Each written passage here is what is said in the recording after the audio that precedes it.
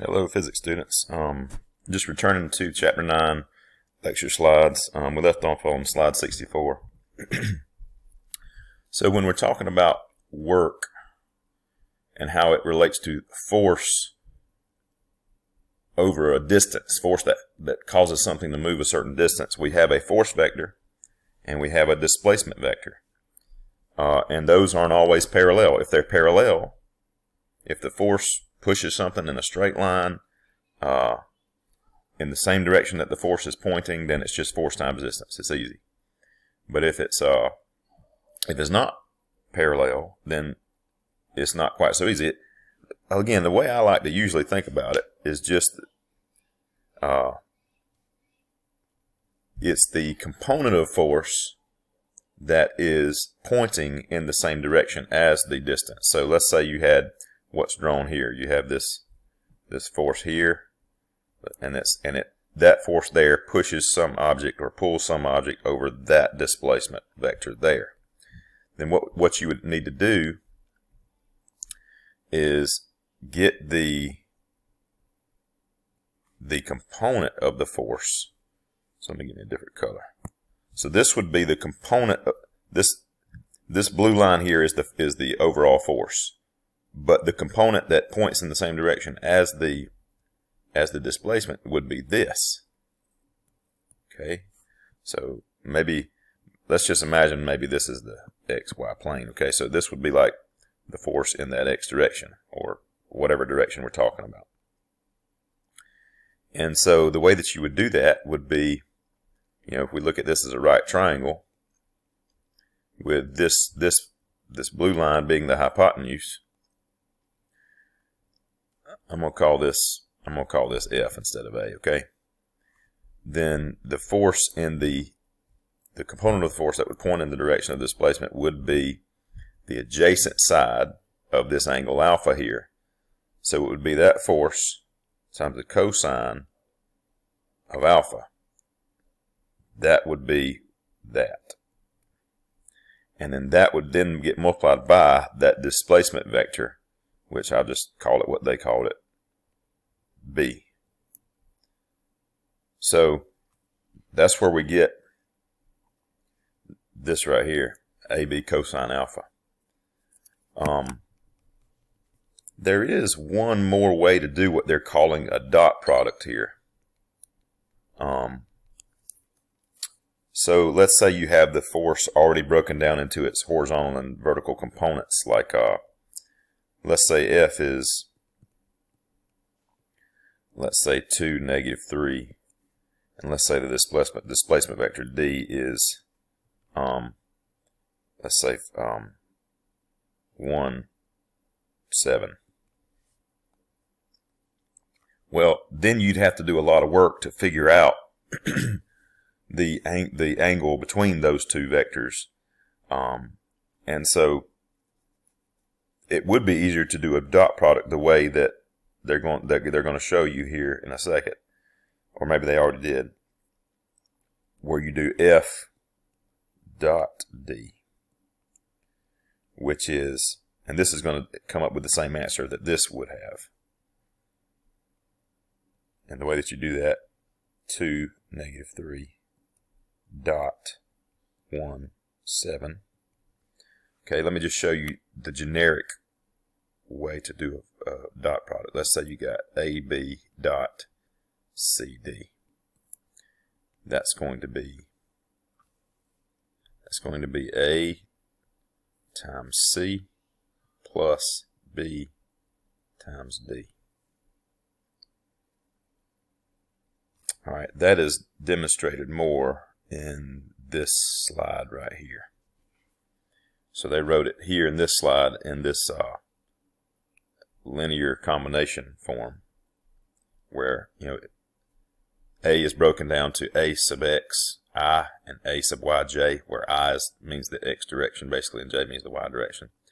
So this would be the same thing as A being listed like this, A sub x, A sub y. That, that means the exact same thing. And B is broken down in a similar way. B sub x, B sub y. but it means the same thing as that, b sub xi, b sub yj. And then, so when you dot these two things together, it's the two x components multiplied and the two y components multiplied, and then the results of those two things added together, the results of those two products being added together to get a final dot product, the final answer. So over here, with the little example I had given, that would be 2 times 1 plus negative 3 times 7, which would be 2 plus negative 21, which is uh, um, negative 19 would be the result. Um, okay, so here's just some examples of, of, different results of dot products that we can expect. If the two, um, if the if the if the force and the displacement vectors point in the same exact direction, then A dot B is just going to be the same thing as A times B, which is what I said earlier. If they point in a generally kind of same direction where, in other words, alpha is less than 90, the angle between them is an acute angle, then the dot product will be positive. If they are at a 90 degree angle, they're perpendicular, then actually that force would not cause any displacement over that displacement vector. And so the dot product would be zero. And cosine of 90 is zero, so it would, it would make that happen. Um, if alpha is greater than 90, it means the force and the um, displacement would point in generally different directions. Uh, and so the dot product would be negative in that case. Um, it would be a negative work done by that force. So the object is moving in this direct in the in this B direction, and A is kind of making it not move as fast in that direction. So A is doing negative work. It's depleting the energy uh, of that object.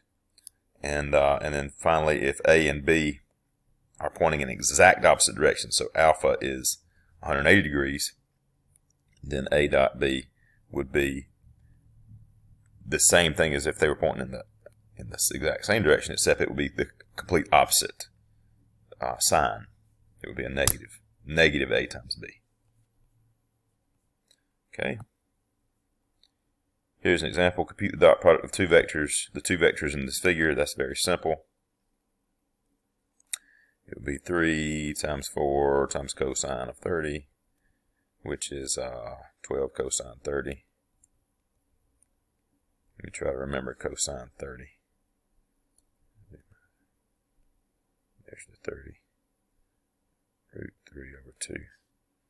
12 times root 3 over 2 uh, which would be 6 root 3, which I would imagine comes out to 10.4 as a decimal approximation. All right, this is the slide we looked at earlier for a different kind of dot product.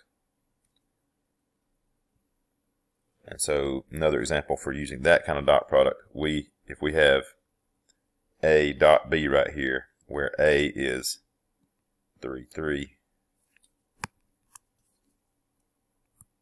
and B is 4, negative 1, which is listed right here as 3i plus 3j and 4i minus j. Then you would do 3 times 4 plus 3 times negative 1, which is 12 minus 3, which is uh, 9.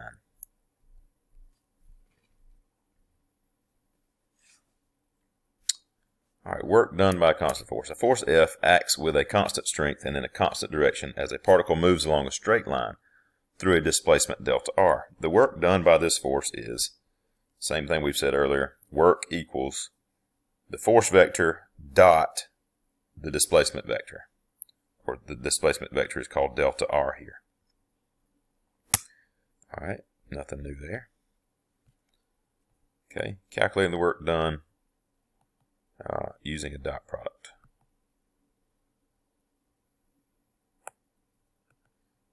All right. 70 kilogram skier is gliding at 2 meters per second when he starts down a very slippery 50 meter long 10 degree slope. What is his speed at the bottom? Okay. So, um, if we draw a picture of that, we might draw it like this. Here's 10 degrees. Here's this object. Uh, and if I line my x and y axes up along with the slope, this is the x-axis, this is the y-axis. What are the forces acting on that object? Well, we have gravity acting straight down. And we have the normal force acting uh, perpendicular to the surface, perpendicular to the slope there. And so what we could do, uh, there's actually, there's two ways you can do this. One is using the stuff we already know. I mean, this, you can just use the dynamics uh, methods we've used before where you do the sum of the forces in the x and the sum of the forces in the y. Sum of the forces in the x won't matter because the normal force is not going to, in this case it won't matter because it's frictionless. Now if it wasn't frictionless, then we would also have to put in a friction force right here. Um, and the normal force would affect that friction force and change things for us. But um, but that is uh, not going to be the case uh, in this one because it says it's very slippery, which we're going to take to mean friction is negligible. All right. Um, so we would just do the sum of the forces in the y being um, the force of gravity, but not the full force of gravity. Uh, sorry, some. Sorry, I think I, I said that backwards. The sum of the forces in the y direction won't matter. I said X, but I meant Y. The, the, the, normal force won't affect anything. Now, if there was friction, it would affect things. But because there's no friction, the normal force won't really come into play here because it doesn't have any effect on the movement of this object uh, along that y-axis.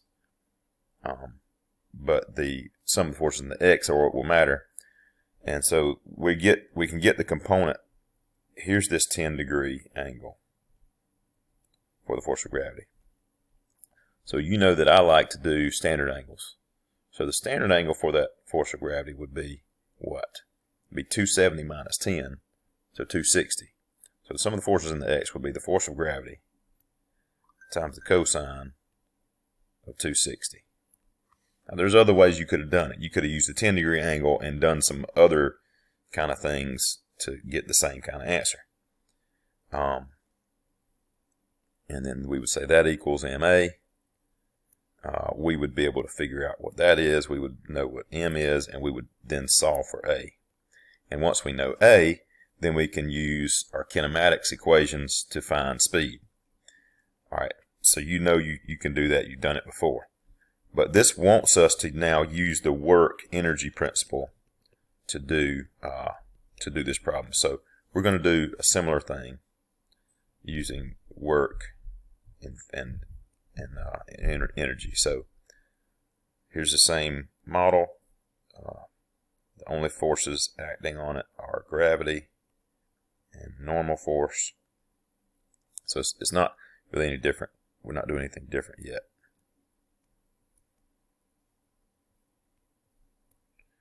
All right, still got a 260 degree angle.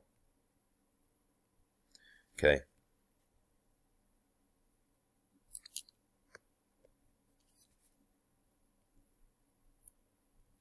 So um, we're going to say uh, the, the, the work done by gravity.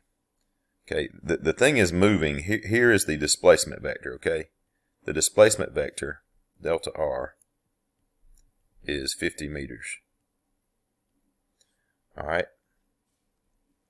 So we can, so the normal force is not going to do any work along that uh, line because along that displacement vector because it's at a 90 degree angle. So it's not doing anything to make it go down that slope.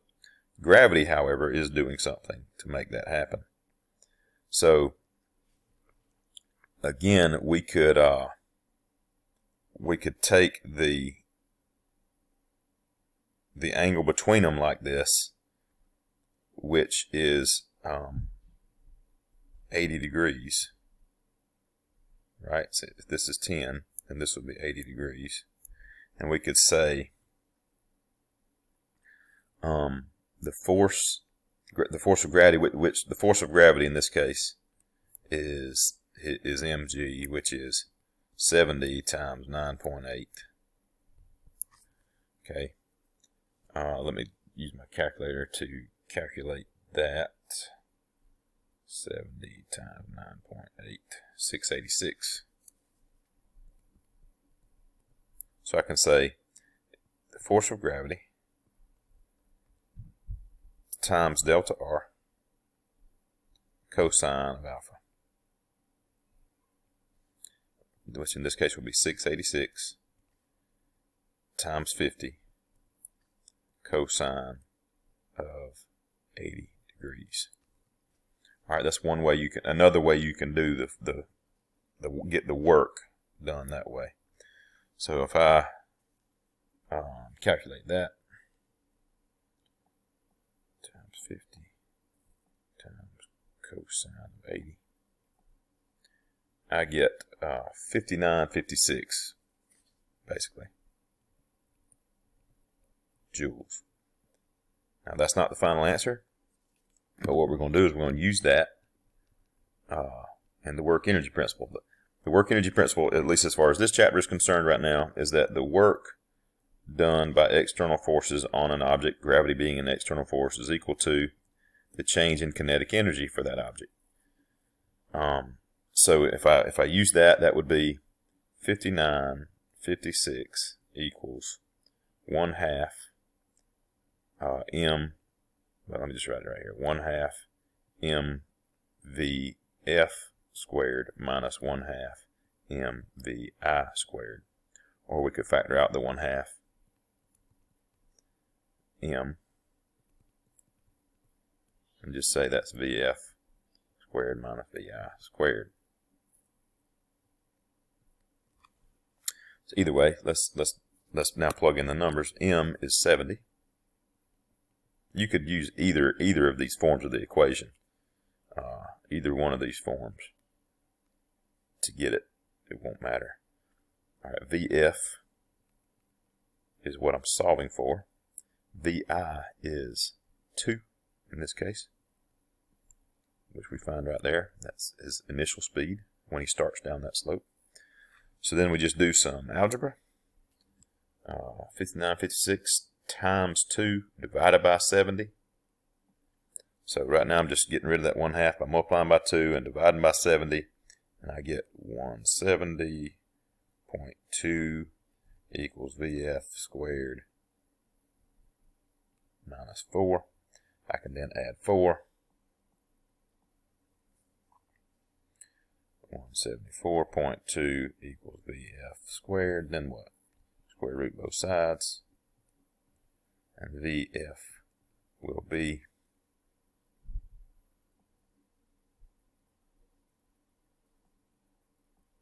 thirteen point two. That is the final answer.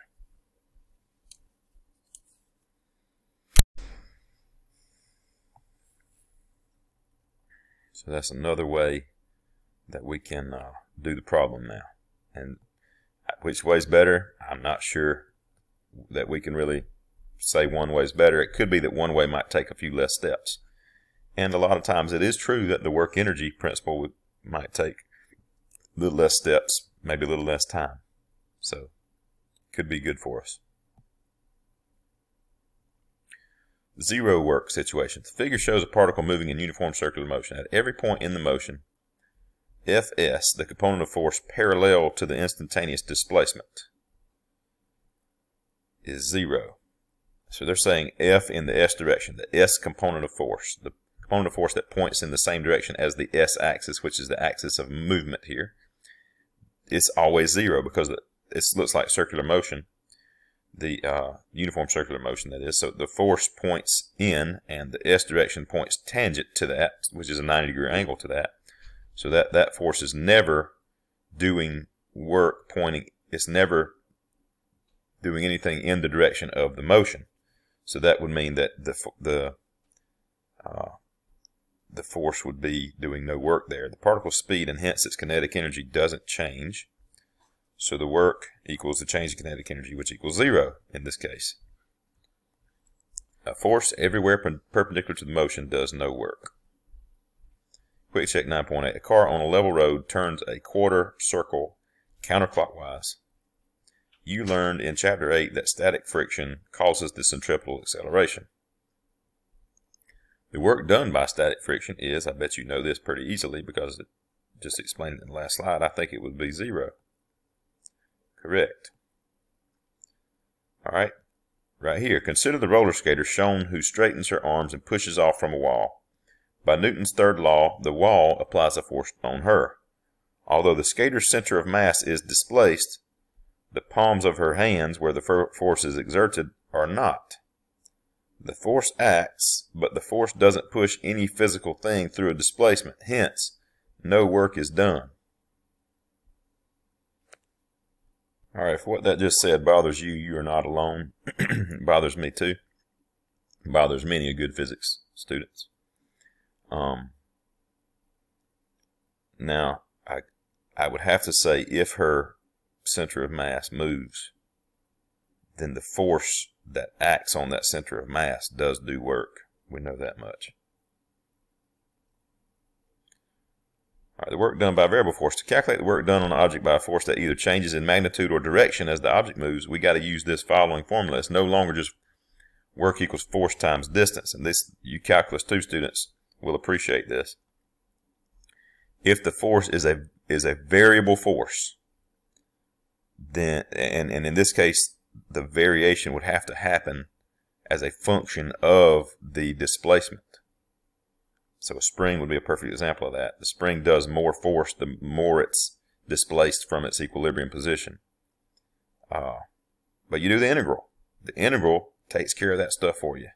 So force times distance, in this case, is the same thing as force integrated over distance, uh, with respect to distance, if you want to say it that way. We must evaluate the integral either geometrically, that means finding the area, right? Uh, or by doing the integration with algebra. All right, example 9.7, using work to find the speed of a car. Okay, let's make this bigger. Okay. A 1500 kilogram car is towed, starting from rest. This figure shows the tension force in the rope as the car travels from 0 to 200. So this is force as it goes along a distance x. So obviously this force is varying, it's changing, it's not constant. Uh, as the car is pulled along the this distance of x, the tension in the uh, rope changes accordingly. So it is a function of that displacement. What is the car's speed after being pulled 200 meters? Well, we can get the work, and this is where you would need to use the work energy principle because uh, dynamics won't help us as much here. Work equals the integral of that force. We'll say x in this case because x is the, the s-axis. Uh, dx uh, from 0 to 200. Now, we could do it algebraically if we got an equation for that force, which we could find an equation. It'd be easy. It's a linear equation. But the easier thing would be to do the, the geometric uh, interpretation of what the integral is going to find. And the integral is going to find the area between that curve and that x-axis. And we could find that area easily because it's the area of a known shape. It's a, just a triangle. So the area is going to equal um, 1 half base times height. So 1 half 200 times 5,000. Make sure the units are all what they should be. The units for for distance here are meters. The units for force here are newtons. So they are good good good units. Let's like let's say this was centimeters, and you'd have to change it to meters to get the right answer. Um, so what's that going to be? That's going to be 100 times 5,000, so 50,000. So the work done is 50,000. That's what that integral equals.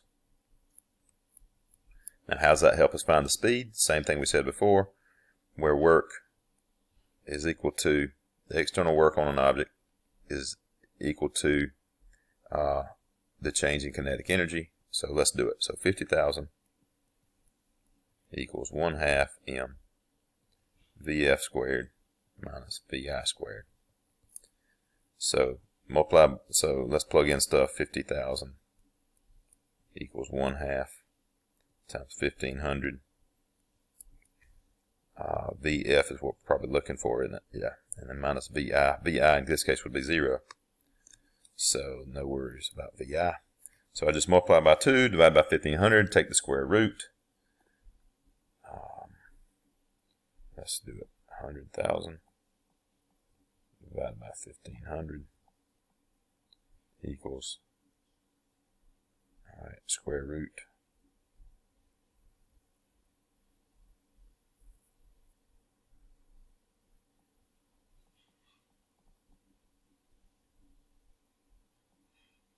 is 8.16 meters per second.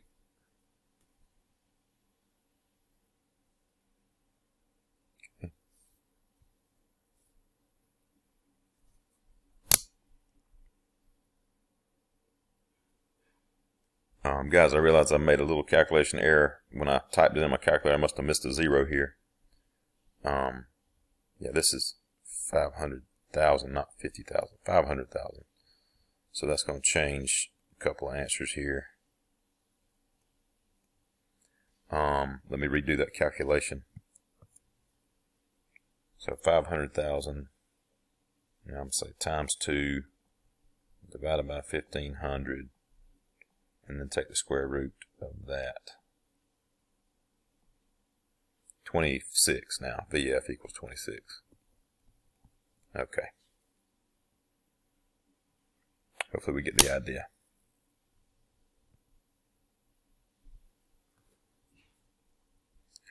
Alright. I think I'm going to stop this video right there and we'll continue on with another video.